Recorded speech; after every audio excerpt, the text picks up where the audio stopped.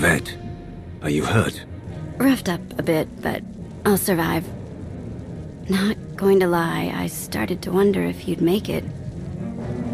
I had to slice through a whole army to find you. But I'd do it again in a heartbeat. Hmm. It's nice having the deadliest Sith in the galaxy on my side. What about Torian? Torian, do you copy? We're coming for you next. Wrong again, Outlander. I found your Mandalorian pet. Now he's all mine. You've got my attention. Good. That was the point. When the Outlander comes for you, Arcann and I will be at his side. I'm counting on it, Mother. You got what you wanted. I'm on Odessen.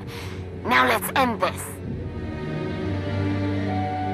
You don't have the guts to face me in a fair fight. I've broken Father's chains. This fight will be anything but fair. I'm sending you a location. We meet there. Whoa.